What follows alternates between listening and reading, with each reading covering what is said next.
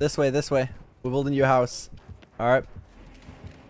So, you need to come with me. Through here. Alright. We're going this way. And we're going to stun you with that. Go over here. We'll throw this one. And there you go, buddy. You have a house. I'll see you later, dude.